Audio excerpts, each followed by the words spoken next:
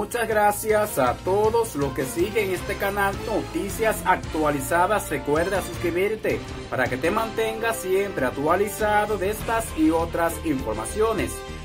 La Junta Central Electoral opera con un déficit mensual que ronda los 120 millones de pesos, reveló el presidente de ese organismo, Román Yaques Liranzo, quien se quejó de que el gobierno no le ha aprobado el presupuesto solicitado para este 2021. Explicó que por este motivo no podrán ser ejecutados 18 proyectos que la Junta Central Electoral tiene estructurados y planificados, los cuales requieren una inversión de 1.348 millones de pesos.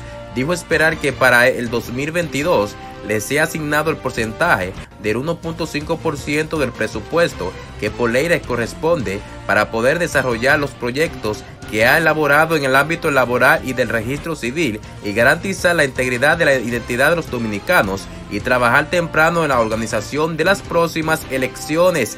Gracias amigos por seguir esta noticia. Recuerda suscribirte. Nos veremos en un próximo video.